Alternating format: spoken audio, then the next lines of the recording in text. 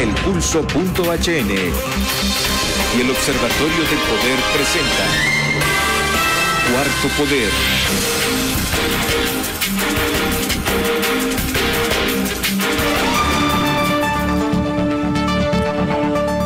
Amigas y amigos, sean bienvenidos a esta emisión de Cuarto Poder. Les saluda Carlos Paz, Selvin Silva en los estudios de Globo TV Honduras, la compañera Nagodoy en producción y el compañero Ronald López en los estudios de Radio Globo. Saludamos al compañero y amigo Moisés Castillo, gerente de Prondeca, y gracias por escucharnos. Cuarto Poder al igual que don Ubaldo Baquedano en el Guayabo Sologuara. Don Ubaldo siembra apio, siembra culantro y esos tipos de hortalizas que utilizamos pues los capitalinos. Han transcurrido 200 años de la independencia y se han conmemorado en Centroamérica pero los conflictos aún no han desaparecido. Belice fue el último que obtuvo su independencia del imperio británico, o sea, de Inglaterra. Guatemala dio su reconocimiento a la independencia de Belice en 1991, pero aunque haya hecho el reconocimiento, su demanda porque el 11% del territorio beliceño le corresponde a Guatemala en el argumento que desde los tiempos de la colonia no ha terminado. Y eso no solo incluye tierra firme, sino también en el mar.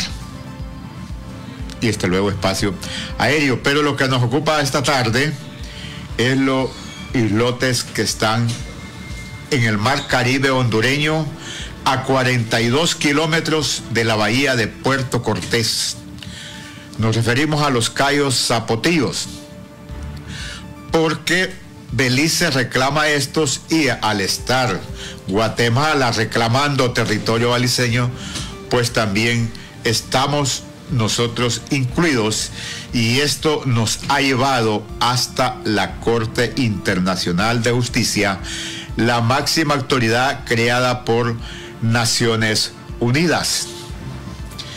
¿Qué implica? Que el Estado hondureño en, bueno, yo este, tengo uso de razón, he escuchado que, los callos pues corresponden a, a Honduras, que son nuestros, es la palabra correcta. Pero que al haber estos reclamos de los países vecinos, en este caso Guatemala y Belice, nuestra Honduras tiene que ir a defender la posesión de los mismos a esta instancia internacional. Esta tarde tratamos de conversar con el canciller de la República cómo está, dijo, la situación. Porque se plantea que el próximo año, como a mediados, se, iniciará, se iniciarán ya los debates, los argumentos de el por qué cada estado de los involucrados en el litigio, pues demandan la propiedad de este pedazo de tierra, que creo que son como 127 kilómetros cuadrados, pero es nuestra. Tierra, una pulgada no se puede ceder nunca. Es nuestro territorio. Ante, esa situación, pues esta tarde, no sé si ya se encuentra conectado el señor canciller. Ya, en breve estará pues, conectado. Pues vamos a conversar cómo tiene Honduras su staff de abogados expertos en derecho internacional y en particular también conocer sobre asuntos de el mar, porque ahí las líneas se dividen por los paralelos hasta donde le corresponde a cada estado. Pero le damos la bienvenida al compañero Brian Flores. Bueno, ¿qué tal? Bueno, ya en breve, ya en breve por aquí nos están confirmando la producción de que eh, el abogado Enrique Reina estará en cuestión de minutos conectado está ahí terminando de arreglar un, un, asuntito que tenía pendiente. Bueno, miren, yo les voy a decir una cosa, así, haciendo una, una pausa. Está bien y que la alcaldía capitalina, don Carlos, está haciendo. No, pero uno también, compañero, uno también tiene que tomar su propia medida. Don Carlos, ¿me deja hablar? No, pero es que todos los días. Don Carlos, ¿me deja hablar? No, pues iba a hablar, pero yo le digo que Bueno, bueno, olvidemos el tema. Vamos entonces con el tema de, hablemos con el tema de, lo que está pasando el diferente limítrofe. No perdamos tiempo en esa cuestión. Bueno, ya en breve va a estar acá entonces el eh, canciller Enrique Reina para poder hablar qué es lo que está pasando con este litigio. Algunas informaciones preliminares decían de que Honduras no había reaccionado en torno a este conflicto que está surgiendo con Guatemala. En la mañana estábamos escuchando precisamente ese tema, incluso hubo personas o algunos expertos que eh, reaccionaron al respecto. Lo que nosotros necesitamos saber, y ya en breve por eso tendremos entonces al canciller eh, Enrique Reina para que él nos pueda explicar de manera detallada, o sea, qué es lo que está pasando con, con esta isla. ¿Por qué Guatemala se está entrometiendo ahora en esta cuestión de litigio y cómo esto también puede afectar los intereses del país? Eso es lo que nos interesa eh, preliminarmente a nosotros. ¿Por qué nos interesa eso a nosotros? Recuerde que Honduras en este momento tiene varios problemas y uno principal de ellos que pongámoslo en contexto o quizás no venga al contexto, pero es necesario abordarlo, es el tema de las sedes. Recuerden en este momento lo que está pasando con eso, primero.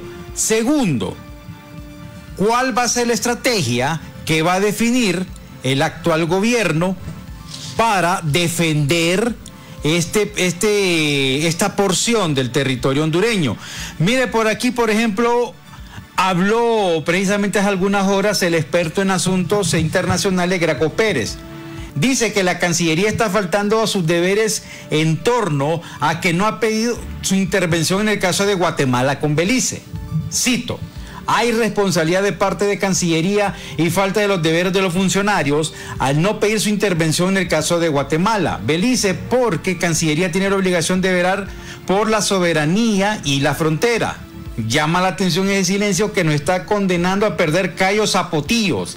Hace dos años Honduras debió de haber solicitado intervenir y hasta el momento no lo ha hecho. Hace dos años. Pero también reaccionó el ex canciller Carlos López Contreras. Dijo, el canciller Reina por lo menos debió sugerirle a la presidenta la autorización para manejar la situación porque ahí hay intereses de soberanía de Honduras. Se trata de un espacio de mar territorial en el Océano Atlántico. Lo más recomendable es que Cancillería pida al Ejecutivo poder realizar su intervención en el caso de Belice Guatemala para evitar que los intereses de Honduras se vean afectados. Ahora se nos presenta un caso más complicado todavía porque Guatemala estará en dos casos y el mismo será enredado por Honduras, porque nuestro país debió solicitar intervención en el caso de Guatemala y Belice y prosigue. Es un misterio del por qué Honduras no hizo una solicitud de intervención en el caso de Guatemala y Belice que venía desde 2016. La Cancillería actual tampoco recibió luz verde por parte de la presidenta Xiomara Castro para intervenir por lo que esto nos afectará. Y aquí hay, de hecho, vamos a ver por aquí, eh, hay, hay un comunicado, bueno, bueno, dice aquí, ¿verdad? Que Guatemala pide intervenir litigio marítimo entre Honduras y Belice por la soberanía de los Cayos Zapotillos. Entonces, eh, y confiemos ya, pues esperemos que en cuestión de minutos esté ya el canciller Reina para que podamos hablar sobre este tema. A el caso de Guatemala es que Guatemala le reconoció la independencia a Belice, pero también reclama 11 mil kilómetros cuadrados de ese territorio que según Guatemala son de su propiedad o de su territorio desde la corona española, de lo que se dio en la corona española. Y eso abarca también lo que es el derecho en el mar. Así está el conflicto. Y Belice viene reclamando también de que Cayo Zapotillos le pertenece. A mí me extraña la posición del abogado López Contreras, porque él en la administración anterior era funcionario de la Cancillería. Eso no me lo contaron. Yo lo vi y tuve la oportunidad incluso de saludarlo, de saludarle, como por dos ocasiones, cuando esta la trasladaron para el centro de la capital donde funcionaba antes el Banco Central. Mm. Entonces, ¿a qué se está refiriendo si el caso, ningún litigio de esta naturaleza va a la Corte Internacional de Justicia de la noche a la mañana, sino que tardan años los procesos de documentación porque se traen desde la historia para poder demostrar el por qué determinado país considera su pertenencia. Mm. Entonces, por cuente contó el abogado Contreras que hizo en su periodo en que él era funcionario de la Cancillería en el régimen anterior. Bueno, no le desconocemos sus conocimientos técnicos científicos, son muy buenos, pero tiene que demostrar, si él mismo está reconociendo, que el caso viene desde el año 2016, cuando asumió el la presidencia Juan Orlando Hernández desde el 2014. Entonces, ¿quiénes eran los funcionarios de Cancillería? ¿Qué hicieron? ¿A qué nivel dejaron el caso en el conflicto? Eso también, no le preguntaron eso o no se refirió a ello. Pero si él está diciendo que viene desde el 2016, ¿qué responsabilidad tiene el régimen ¿Quién, quién, ¿quién, era el canciller en 2016? me acuerdo. ¿Mm? ¿Quién era el, canciller en 2014? Yo solo recuerdo que estuvo ahí don, el ingeniero, que por cierto no es del área del derecho, sino que el ingeniero Rosales. Ajá, Alejandro Rosales, o sea que todos los que fueron secretarios de Relaciones Exteriores antes de este gobierno, de Relaciones Exteriores antes de este gobierno, entonces ellos deben de tener responsabilidad también, pues. Tienen responsabilidad y me imagino que lo mencionó el abogado López Contreras. Bueno, no lo mencionó. Ah, bueno. Lo que yo vi no lo mencionó. Entonces yo lo menciono porque yo lo saludé en la Cancillería por dos ocasiones. Ajá. Como asesor. Como funcionario, empleado. Sí, pero recuerde cómo él está en oposición, entonces él reacciona desde la oposición, o sea, él no habla de una el de, de, patriótico. Sí, pero usted cree que a ellos les importa eso. La pregunta, ¿les importa a ellos eso? No les importa. O sea, en este momento, como están de oposición, entonces el asunto es, ah, como estamos en contra del gobierno, entonces, podemos leer hasta el gobierno. no está hablando en función de defensa del territorio, sino en defensa de la chamba que perdió. Bueno, entonces no es patriota. Eso, esa es mi posición, pues. Ah, porque el territorio se defiende. Hoy sí. No importa, digo. Bueno. ¿Quién esté? Bueno, bueno, ya hoy sí. Eh, gracias, eh, abogado Enrique Reina. Es un gusto saludarlo esta tarde acá desde Cuarto Poder. Bueno, nos alegra mucho poder platicar con usted. Eh, hemos intentado poner en contexto lo que está pasando en este eh, litigio limítrofe entre Honduras y Belice. Ahora Guatemala está pidiendo intervenir en el asunto porque resulta de que Guatemala cuando se dio, dio la independencia a Belice en 1991 con el entonces presidente Serrano Elías, como que ahí se generó un bache, y luego nos venimos a enterar que por 2015, 2016, eh, este problema pues eh, debía de, resolverse. Eh, el régimen anterior parece que no hizo nada. Escuchamos hoy algunas valoraciones en particular del ex canciller Contreras y también pues de otros expertos. Usted como secretario de Relaciones Exteriores de la actual administración de la presidenta Castro, ¿Qué podemos saber los hondureños en torno a este conflicto? Porque estamos hablando pues de, un, de, unos callos que están en el Mar Caribe. Calles Zapotillos. Un gusto saludarlo, abogado Reina. ¿Cómo está? Bueno, un saludo y gracias por la invitación a, Cuarto Poder y a estar con su audiencia. Mire, efectivamente hay un caso que surge eh, de esta disputa que tienen en particular Guatemala y Belice en un tema tanto territorial como marítimo de sus fronteras y que viene pues acarreándose desde hace varios años, no, no, no es reciente, o sea, ya prácticamente finales del 99 y desde la independencia de Belice, como usted lo señala, venía esta disputa eh, que en algún momento se trató de, mediar a través de la OEA y que en, en, esos momentos, yo recuerdo, la Cancillería participó en los años 2000 eh, más o menos año 2000, eh, en aras de buscar algunas posibilidades de diálogo. En el caso particular de Honduras, en, la zona, eh, nosotros tenemos en los límites territoriales, pues fue fijado por el laudo arbitral de Washington de 1932 con, con Guatemala. Y en el caso particular del Mar Caribe, nuestros límites fijados ya que están, diríamos, al norte de esa zona que, que está pendiente con Belice, eh, y Guatemala es la que tenemos fijado por un tratado suscrito con México. En este caso, ambos países, tanto Guatemala como Belice, eh, no llegaron a ningún acuerdo en esa mediación de la OEA, duró mucho tiempo esta eh, búsqueda de un entendimiento y al final ambos países decidieron eh, enviar al referéndum a sus pueblos la posibilidad de acudir a la Corte Internacional de Justicia para dislucidar esta disputa que ellos tienen. En el caso particular de Honduras, pues como bien se señalaba, eh, es una disputa que se viene arrastrando y en la cual el gobierno anterior decidió no participar en el tema que llevaban Belice y Guatemala eh, al igual el tema de nuestro, yo creo que estuvimos esperando eh, naturalmente cuál era la situación del caso para ver eh, si esto afectaba nuestros intereses particulares en el Mar Caribe cercanos a la zona. Y en este caso se refieren más que todo a la posesión de los cayos zapotillos, cayos que están adscritos en nuestra constitución. por eso se esperó un poco ver cuál es el desarrollo del caso para ver cómo avanzaba, pero en ese interim Belice no demandó ante la Corte Internacional de Justicia eh, por eh, eh, una disputa que ellos consideran existen por los callos zapotillos. Nosotros consideramos que es una que han sido unos callos que histórica, geográfica y jurídicamente le corresponden a Honduras y están pues de hecho en nuestra constitución desde hace mucho tiempo y, y los consideramos como nuestros. En este caso hemos acudido a la Corte ya se ha presentado la memoria de parte de Belice y nosotros estamos en el trámite, también debemos presentar nuestra contramemoria a este tema.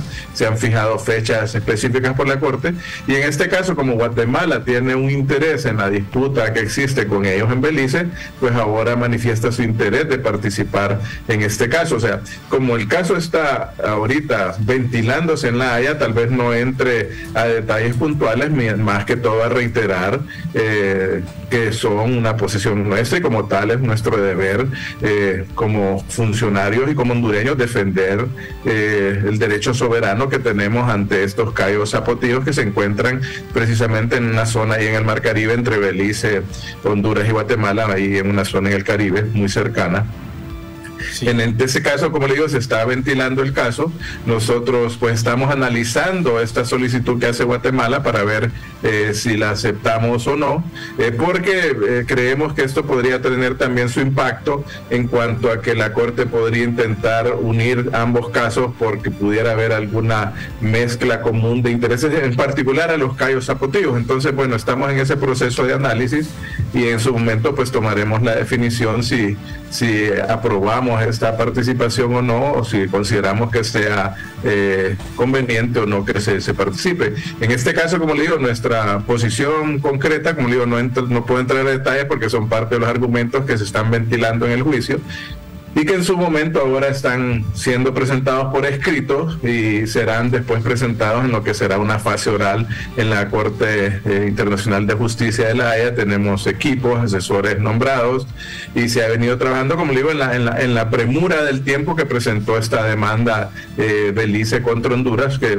pues nosotros hemos mantenido generalmente una buena relación cordial con Guatemala y con Belice en términos generales y ahora pues como nos obliga el estatuto de la Corte y en particular el pacto de Bogotá, que es un pacto que suscribió Honduras, acudir cuando un país nos demanda. Entonces estamos en este caso, como le digo, presentando todos los argumentos, eh, documentación, legales, mapas y todo lo que eh, pues viene a ser la argumentación hondureña sobre lo que es nuestros derechos soberanos en los Cayos Zapotillos y como tal pues está defendiendo y, y como tal también pues estamos en este proceso ahorita en la Corte Internacional de Justicia de la Haya. Mira, antes de darle la, la, palabra a don Carlos, mira, abogado, le voy a leer dos citas de lo que dijo hoy precisamente en una emisora el ex canciller López Contreras. Es un misterio por qué Honduras no hizo una solicitud de intervención en el caso de Guatemala-Belice que venía desde 2016.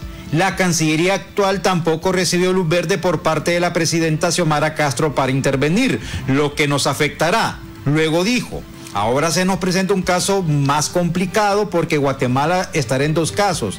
El mismo será enredado para Honduras porque nuestro país debió solicitar intervención en el caso de Guatemala-Belice. No lo sé. Ojo, no quiero ser abogado del diablo y tampoco eh, salir en defensa de lo que está pasando. Pero aquí se siente en estas posturas y cuando uno logra leer entre líneas, aquí nos parece como que hay como un ataque desde la oposición para venir a desprestigiar, digámoslo de esta manera, la función que ha venido realizando el gobierno de la presidenta Castro y también su mandato como canciller. Aguado Reina. Mire, me extraña la, opinión de, don Carlos López Contreras, dicho sea de paso, porque él mismo lo está diciendo, dicen, desde el 2016 se está ventilando este caso prácticamente en, La Haya, en el caso Guatemala-Belice, al cual se refiere y que el que Honduras no participó, y por qué no hizo esa crítica él antes, hace prácticamente nueve años. O sea, hasta ahora parece criticando el tema cuando yo creo que es una persona que conoce muy bien cuál es la situación del caso eh, Guatemala-Belice, la condición de los callos zapotillos, la condición nuestra. Yo creo que eh, es algo que yo creo que bien podríamos eh, en el caso nuestro, pues eh, tenemos pendiente eh, tener una conversación con varios ex cancilleres para hablar el tema. Creo que es lo normal y lo que ha hecho la Cancillería generalmente una vez que se han, están presentando los casos y los argumentos, porque como le digo, la responsabilidad del manejo soberano de Honduras trasciende los temas políticos partidarios y hasta temas políticos ideológicos de cualquier tipo y ha sido una histórica tradición de Honduras llevar estos temas de esta manera porque obviamente es un tema de soberanía, un tema de Estado. Y como le digo, me sorprende que ahora aparece con una crítica en 2023 cuando él mismo dice que el caso está ventilando desde el 2016. ¿Por qué no hicieron esa crítica antes? ¿Por qué no hicieron ese llamado de atención antes? Cuando, como le digo, él conoce muy bien la situación de fondo, como la conocemos, lo que hemos venido trabajando en la, en la Cancillería desde mucho tiempo, y cómo manejamos estos temas con mucho cuidado, porque son temas, como le digo, de interés soberano, y en este caso nuestra obligación es defender eh, la soberanía, defender los territorios que establece nuestra constitución y que Honduras tiene como suyos, eh, tanto histórica, jurídicamente, eh, como geográficamente. O sea, como le digo, no, no me sorprende y como usted lo dice, es extraño que ahora vengan a, a tratar de revivir algo que ha venido pasando hace tiempo y de lo cual no han opinado nada. Muy buenas tardes. Señor Canciller de la República, le saluda Carlos Paz y le agradezco su tiempo y compartir esta problemática de nuestro territorio con la audiencia de Cuarto Poder Radio Globo. Para aquellos que dicen que peleamos y disputamos territorio, pero que no le damos posesión de él mismo porque no vive nadie, no hacemos ninguna actividad, ¿por qué debemos defender la soberanía territorial? Bueno, muchas gracias, Carlos. Y, yo creo que independientemente de si en zonas que eh, pueda habitar personas, no puedan habitar personas, eh, creo que Honduras ha tenido una tradición, y lo, hablo con, mucha franqueza, pues una tradición histórica en tener, en el caso de la Secretaría de Relaciones Exteriores, una defensa del territorio nacional. Y somos un país, yo creo que como pocos, tal vez como un país no muy grande, pero que ha tenido una amplia experiencia en casos en La Haya. Ha tenido, y lo vemos de nuestras fronteras, pues si hacemos un corto recorrido la frontera con Nicaragua se estableció por un laudo arbitral del rey Alfonso III en España en el año prácticamente 1902. Después se ratificó por una sentencia en la Corte Internacional de la Haya posteriormente, prácticamente casi en los años 50. Después se fue a un litigio con El Salvador también en los años 90. 92 eh, fue la sentencia, una revisión de la sentencia. Fuimos a, una, otro caso con Nicaragua, otro caso que involucró a Colombia, el laudo arbitral de Guatemala o sea, hemos sido un país que ha respetado el derecho internacional históricamente, que ha respetado. ¿Y por qué se defienden? Independientemente si viven personas, si no viven personas, porque son las, los territorios que le corresponden a Honduras. O sea, si nosotros eh, consideramos que de acuerdo al uso histórico, a la geografía, a nuestras leyes, a nuestra constitución, son territorios que son posesión de Honduras, pues se les va a defender hasta después en los últimos eh, consecuencias jurídicas en La Haya o en cualquier eh, foro internacional o en cualquier mecanismo de solución de controversias que se establezca o acuerde Honduras. Eso creo que, y de mecanismos pacíficos, vale la pena eh, también subrayarlo. Entonces, eh, al final son espacios territoriales, territoriales de Honduras que indican también las posibilidades de extender el acceso a recursos que tiene, por ejemplo, el mar. Eh, no hay que olvidar que Honduras, miren, el mar Caribe, Honduras tiene prácticamente el doble, el territorio nuestro hondureño es 112.492, bueno, según las mediciones ahora ha, incrementado un poco por mediciones más exactas, ahora vía satélite, a casi a 112.600, pero en el mar Caribe tenemos prácticamente 200.000 eh, kilómetros de áreas marítimas que son hondureñas. O sea, eso involucra, como digo, lo, que tienen también los recursos del subsuelo. No sabemos si hay gas, si hay petróleo, si hay recursos pesqueros, eh, si hay especies coralinas, riqueza biodiversa. O sea, todos esos territorios hondureños. Igual lo hemos hecho en nuestro espacio en el mar, eh, en el Océano Pacífico. O sea, son, es nuestra obligación como hondureños defender estos espacios porque son hondureños. O sea, yo creo que como cualquier país busca el mecanismo de defender su territorio como tal. Ahí, señor canciller, vamos a extender la pausa, Brian, porque nos informó que él también tiene su tiempo ocupado y, y le agradecemos que haya destinado este momento para la audiencia de Cuarto Poder. Manifestó que hay ya fechas establecidas. La consulta se cuenta con el equipo, con el staff de abogados para ir a presentar la memoria y la defensa del caso a la Corte Internacional de Justicia, porque se está pretendiendo crear en el imaginario de nuestro pueblo que no se está haciendo nada.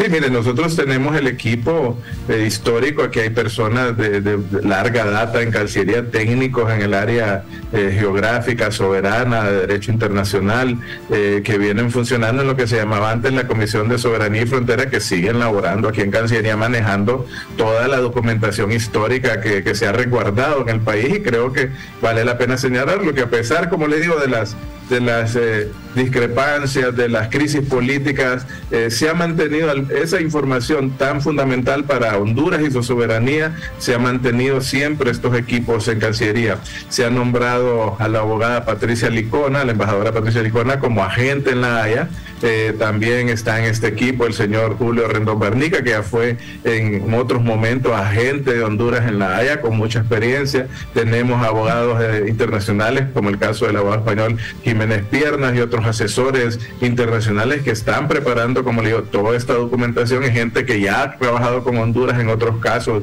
internacionales y es equipo que se ha contratado por instrucciones de la presidenta Castro para dar seguimiento cercano con la misma diligencia que lo hemos hecho siempre. O sea, es un tema, como les reitero, un tema de soberanía y como tal estamos obligados como funcionarios a defender nuestro territorio en los espacios internacionales, en los espacios judiciales eh, que nos corresponda para, para defender nuestro derecho, como le digo, en este caso de los callos zapotillos. ¿Cuál es la expectativa como canciller y representante de nuestro pueblo ante esas instancias?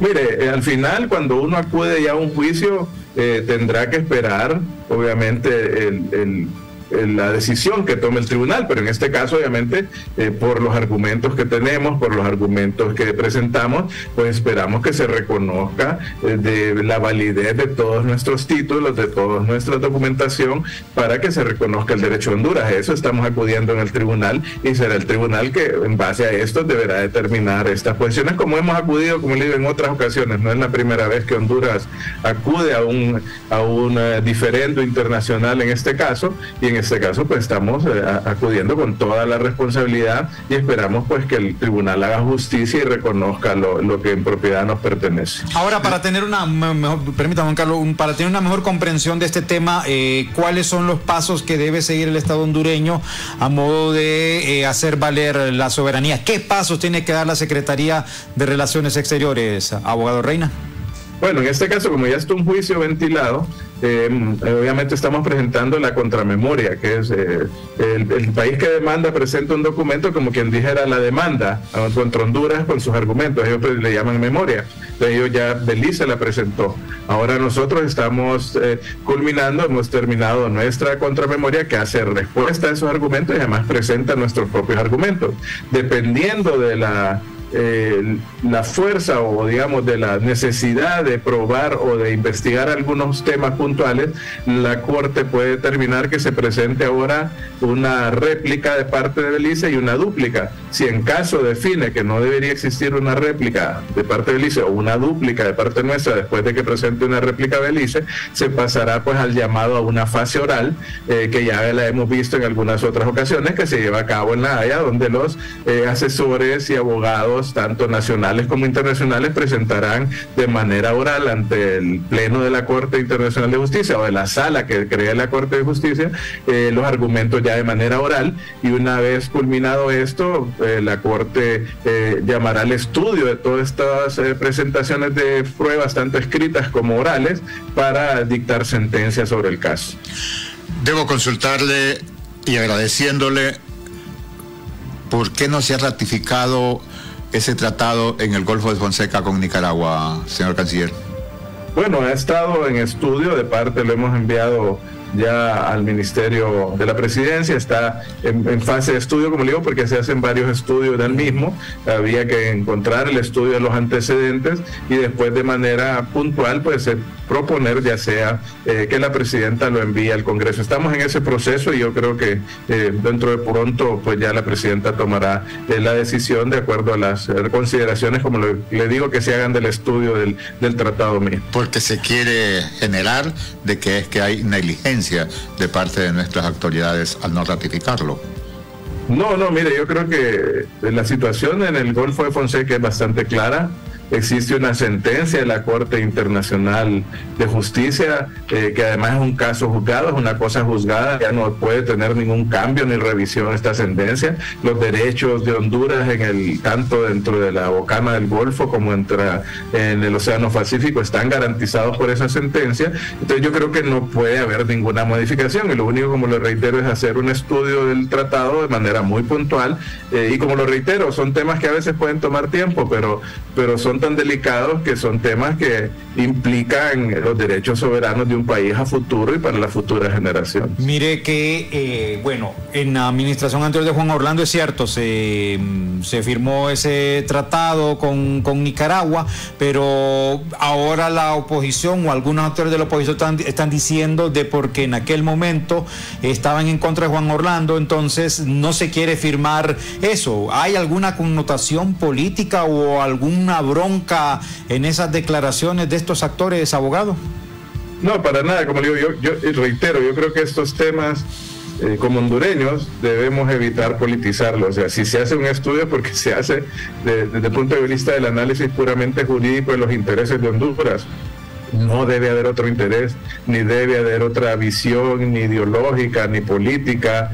Eh, al contrario, pues yo creo que eh, de alguna forma se podrían contradecir si dijéramos eh, que, en Nicaragua hay un gobierno de izquierda, pues aquí hay uno de izquierda, entonces sería fácil. O sea, lo, analizamos a la luz del, como le digo, el estudio del tratado mismo, sus implicaciones jurídicas y todo, porque es un tratado limítrofe, como le digo. Eh, hay tratados, por ejemplo, alguno, el que se firmó con Colombia, para ponerle un ejemplo, que fue en el 86, se ratificó por el Congreso Nacional hasta en el 2000 eh, prácticamente en el 2000, casi 14 años después. O sea, eh, no es que queremos hacerlo con todo ese tiempo, pero como digo, son temas muy delicados que hay que hacerle un estudio minucioso desde todo punto de vista geográfico, legal, más allá de lo político. Es un tema realmente de interés nacional y por lo tanto eh, cualquier definición, cualquier firma debe analizarse y después obviamente será enviado, si así corresponde, al Congreso Nacional y tendrán que ser el Congreso Nacional el que lo ratifique. ¿Y qué plazo en este caso, abogado, bueno,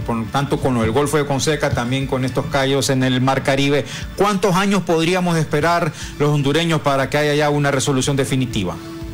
Bueno, con el Golfo, como digo, ahí no hay disputa. O sea, en el Golfo, eh, la, Corte Internacional de Justicia emitió una sentencia en el 92 y posteriormente, prácticamente en el 2001, si no me equivoco la fecha, disculpe si, me confundo con ella, pero eh, se ratificó la sentencia. Pero El Salvador presentó una revisión a la sentencia en el 92 y la Corte la rechazó porque el mismo estatuto de la Corte establece que solo un hecho de tal naturaleza que no fuera conocido cuando se dio la sentencia podría cambiar una sentencia de la Corte y El Salvador no fue capaz de presentar ninguna prueba nueva o diferente a lo que hubiera presentado. Entonces, como le digo, eso es una cosa juzgada, en el Golfo no hay diferencias. Obviamente, cualquier acuerdo que pueda darse entre los estados se basará como base, tendrá como base sustentada esa parte jurídica. Y en el caso del, del océano, del Mar Caribe, eh, Honduras solo tiene pendientes límites con Jamaica, tiene pendientes límites con Belice y Guatemala, y precisamente eh,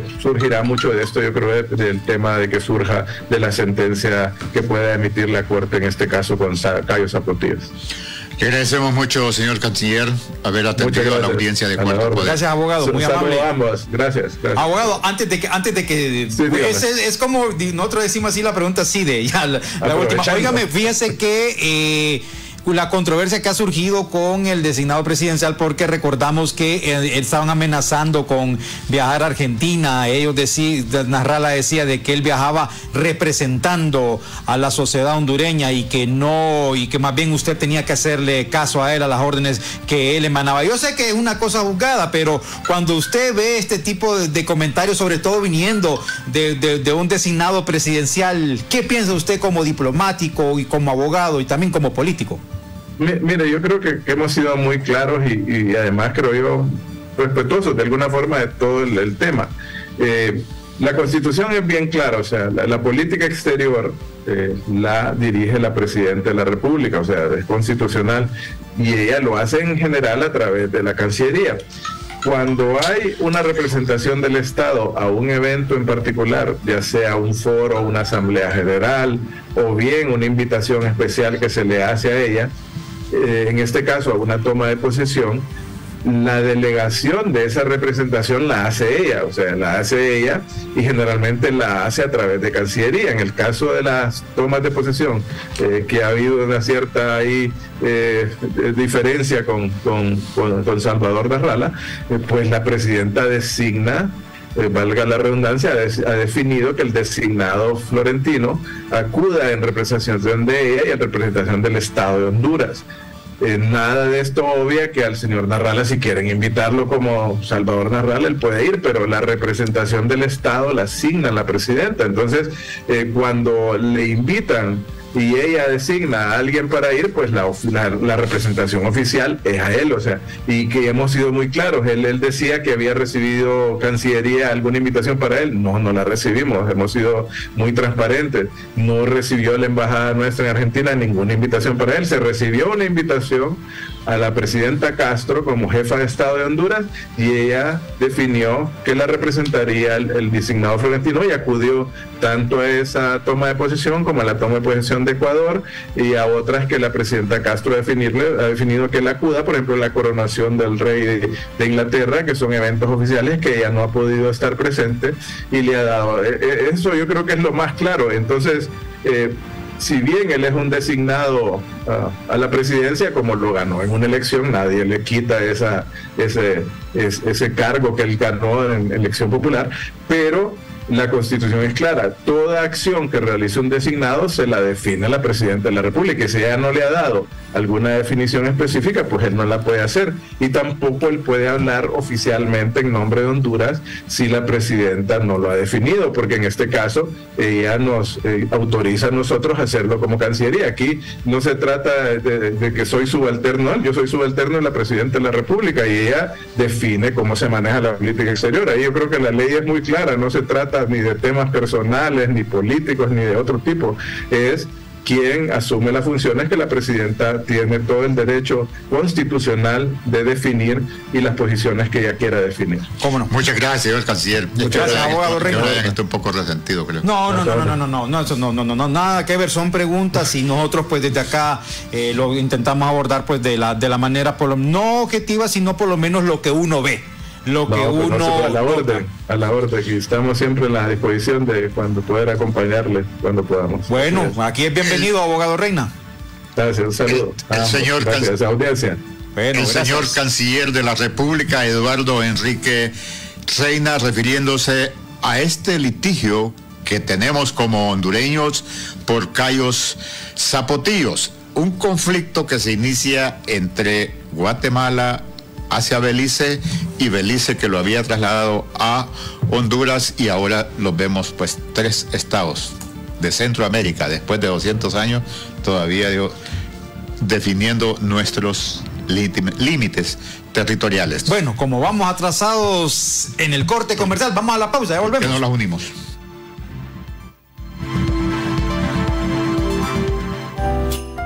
Al fin Navidad, me encanta este mes de tamales, abrazos. Y de motos, rastras. De torrejas y regalos. Remolques, vehículos exentos. Y la familia. En fin, Navidad. Las señales ya están aquí. Diciembre es el mes de matrícula para motos, vehículos nacionales, remolques, rastras y vehículos exentos. Visita nuestra página para más información. Gobierno del Socialismo Democrático. Xiomara Castro, Presidenta. ¿Sabías que ahora puedes hacer planes de pago para ponerte al día con tus impuestos de la alcaldía? Así es, ahora la Alcaldía Municipal del Distrito Central te da hasta 12 meses para cumplir con el pago de tus impuestos municipales. Acércate a nuestro edificio ejecutivo frente al Hospital Viera y vení a hacer tu contrato de pago con nosotros. Te estamos atendiendo de 7 de la mañana a 4 de la tarde. Para más información, llámanos al 2220-6086. Inversión para el desarrollo. Tus impuestos, tu ciudad. Alcaldía Municipal del Distrito Central. ¿Necesitas abrir una cuenta de ahorro pero no tienes tiempo de ir al banco? Con Banco Atlántida puedes abrir tu cuenta desde donde estés. Solo debes descargar la aplicación Atlántida móvil en tu celular y seleccionar la opción Activa tu banca digital. Con Banco Atlántida vives, digital donde estés. Bueno, pues fue amplio, eh, preciso y conciso el abogado Enrique Reina en su condición de secretario de Relaciones Exteriores en torno a lo que está pasando con este eh, diferendo limítrofe entre Honduras y Belice y ahora, como decimos popularmente, eh, Guatemala está pidiendo que le rieguen maicillo para, para poder participar, pues, eh, o ser parte de esta controversia jurídica que ya data de varios años. Miren, Guatemala cuando fue presidente allá por 1991, em, Jorge Serrano Elías generó una controversia en Guatemala porque los presidentes anteriores se habían resistido a concederle la independencia a Belice. Belice es parte constitutiva del llamado Reino Unido de la Gran Bretaña y el norte de Irlanda. Entonces, como el Reino Unido en su época colonial conquistó, colonizó o invadió muchos países acá en América Latina, y aquí tenemos un caso específico, Belice, entonces se le cedió la, soberanía a Belice en 1991, precisamente para estos días, que eso generó eh, un escándalo sin precedentes en la historia política de Guatemala, obviamente, pues se comprende porque nadie quiere ceder su, extensión territorial, porque la extensión territorial, por lógica, es como parte de ese orgullo, parte de esa identidad nacional, es como que nosotros acá digamos, no, está bien que se roben el departamento de gracias a Dios, porque no lo tenemos para nada, para allá hay un montón de narcos, ahí hay un, un montón de cosas y no ocupamos el terreno. No, no, no, no, la cosa no es así. O sea, eh, por eso explicaba bien el canciller Reina de que eh, se, tiene que defender la integridad territorial y estaba hablando de hecho que ahora son como 112 mil 600 eh, kilómetros cuadrados con las últimas mediciones que, se han hecho. Ya satelitales. Sí, mediciones satelitales. Bueno, entonces Honduras ya tiene su, su poquito más que bien, ¿verdad?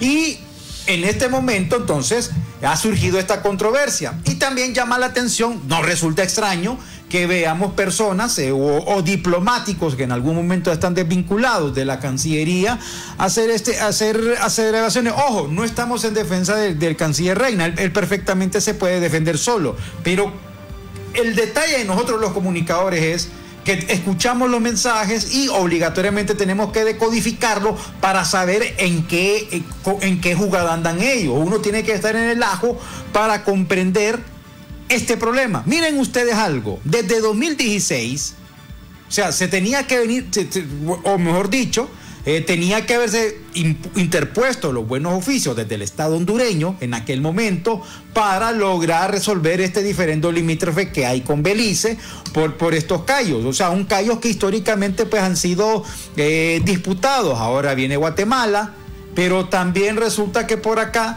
eh, quizá sea, no lo sé, puede ser un resentimiento. Está bien la crítica, está bien el señalamiento, pero cuando hablamos de temas de integridad territorial, en este caso hay que hacerlo por lo menos desde una perspectiva, primero diplomática, segundo jurídica. Nosotros no somos abogados y por eso, por mejor preguntamos, por eso nos metimos al rollo del periodismo y entonces, ¿qué es lo que resta? Que el Estado hondureño eh, presente los argumentos ante la Corte Internacional de Justicia de la Haya para que en algún momento determinado no sabemos cuánto puede durar este proceso. Imagínense lo que decía hace poco el canciller, que en 1986 se firmó un tratado limítrofe con Colombia por la cuestión de las islas de San Andrés, fue ratificado por el Congreso allá por, por 2000 aproximadamente, entonces son procesos muy largos, don Carlos.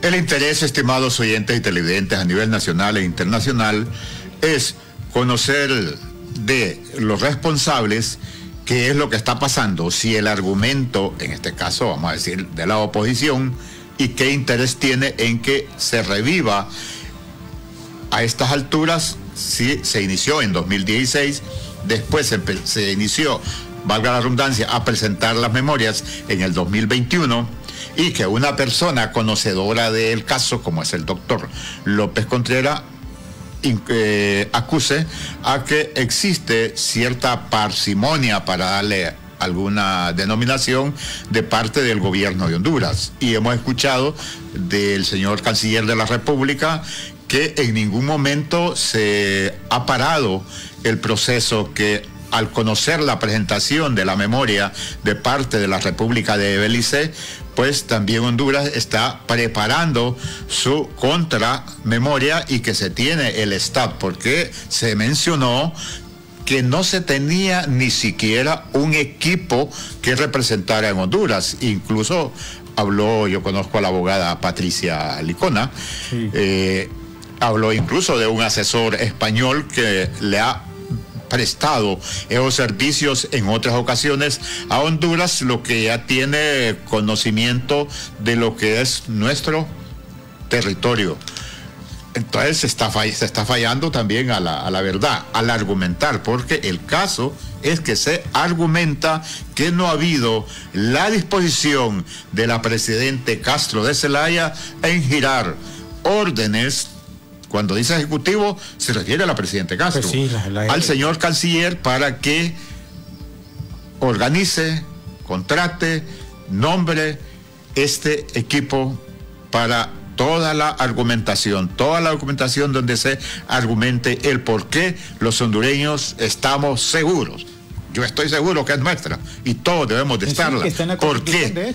Mire, no toda la vida vamos a ser 10 millones de habitantes. Usted imagínese cuando seamos 40 millones, vamos a tener que vivir algunos en ese islote. Y lo otro, la riqueza que tiene la fauna marina que lo rodea, lo cual debe ser en determinado momento explotada con uso racional de esos recursos que poseemos en el mar. Ya mencionaba el canciller, 200 mil kilómetros. Sí, 200. Esa es una gran extensión que en determinada época de la historia, en el futuro del tiempo, vamos a tener que hacer uso del mismo. O sea que tenemos más de 300 mil kilómetros cuadrados si incorporamos la, la, parte marítima del país. O sea, Honduras es un país bastante grande. O sea, incluso ya, si se incorpora la tierra es más grande que Nicaragua. Entonces, yo como hondureño considero que si una roca hay por ahí, hay que hay que ejercer la soberanía. Hay que pelearla hasta que, sea nuestra. Por eso le repito, mire, la soberanía. A ver, hay el futuro del tiempo que la vamos a utilizar para algo. Pues le repetimos, la soberanía es parte de la identidad nacional, hombre, es parte del orgullo del país. Imagínense que vienen y, roban una porción de terreno, es como que a usted le quiten un dedo, va a quedar ñuco. ¿Me entiende? o sea, pues haciendo así una comparación un poco populacha, pues, pero. Está bueno lo del ñuco. O sea, no, nunca he escuchado la palabra ñuco. No, no, no, para, mire, está manco, está tunco y también está ñuco. O sea, ah. sin el ánimo de, Manco, cojo, sí he escuchado. Sí, y ñuco, también está ñuco. Ah. Entonces, por eso, bueno, tenemos otro compromiso comercial. Ya volvemos, les recordamos. Necesitas abrir tu cuenta de ahorro, pero no tienes tiempo de ir al banco. Con Banco Atlántida puedes abrir tu cuenta desde donde estés. Solo debes descargar la aplicación Atlántida Móvil en tu celular y seleccionar la opción Activa tu banca digital. Con Banco Atlántida vives, digital donde estés. Al fin, Navidad. Me encanta este mes de tamales, abrazos. Y de motos, rastras. De torrejas y regalos. Remolques, vehículos exentos. Y la familia. En fin, Navidad. Las señales ya están aquí. Diciembre es el mes de matrícula para motos, vehículos nacionales, remolques, rastras y vehículos exentos. Visita nuestra página para más información. Gobierno del Socialismo Democrático. Xiomara Castro, Presidenta. Se viene otra vez la época más bonita del año y en el Distrito Central queremos celebrar unas fiestas navideñas seguras. Así que antes de tirar un cohete, lo mejor, porque vender, comprar y usar pólvora es un delito que se paga con multas de hasta 60 mil empiras más el decomiso del producto. Vamos a reforzar los operativos para evitar la venta de pólvora. Si conoces lugares que venden cohetes o si ves a alguien utilizando pólvora, denuncialos a la línea 100. Tu llamada puede salvar una vida. Los cohetes no son juguete. Alcaldía Municipal del Distrito Central.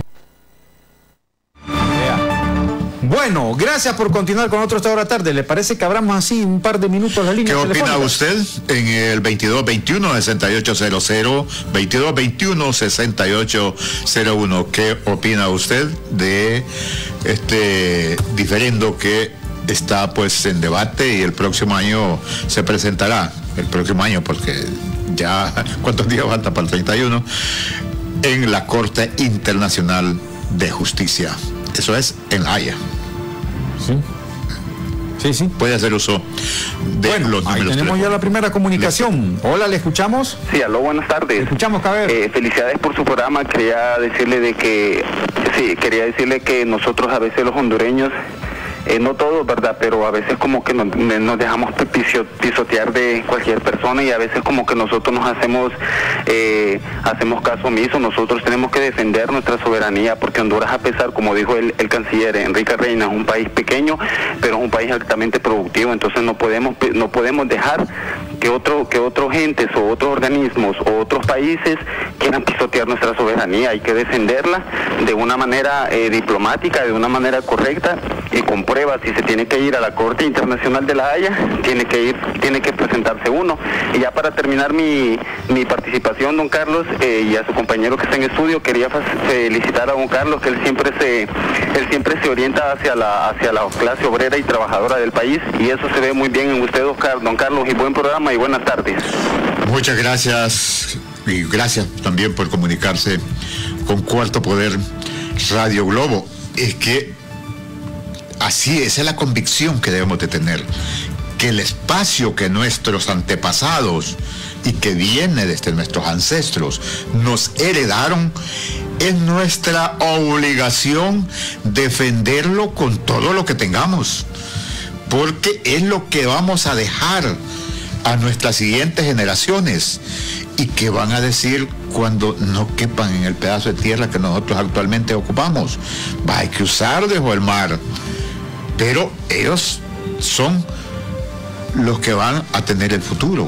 Y estamos hablando no de 40 años, digo yo, pero estamos hablando de los siglos. ¿Y cuántos siglos atrás nos heredaron nuestros antepasados? Bueno, los que participaron en la dichosa independencia, ahora estamos hablando de 200 años. ¿Y qué tal ellos se hubieran quedado con los brazos cruzados? Ah, ¿qué hubiera sido de nosotros? Así debemos de pensar tiene razón el compatriota que nos llamó, de que tenemos una mentalidad bien corta en pensar solo en yo y en mi feudo familiar.